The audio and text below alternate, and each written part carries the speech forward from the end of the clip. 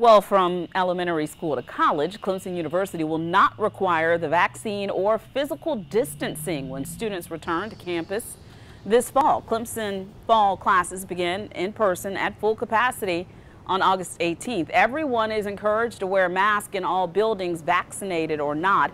Fully vaccinated students, faculty, and staff can voluntarily upload proof of vaccination status, which the university will use to help guide safety planning.